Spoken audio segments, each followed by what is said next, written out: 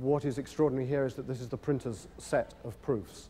So that these are the set, this is the set of, of prints that were kept by the printer in the workshop um, as, as his record of exactly what had been produced by Picasso.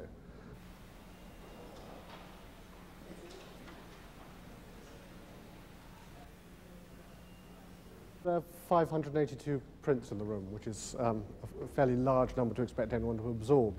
Um, it's, it's sort of great, though, because you can really see the development of Picasso from 1945, when he started making lithographs um, in the Mourlot workshop, to 1965.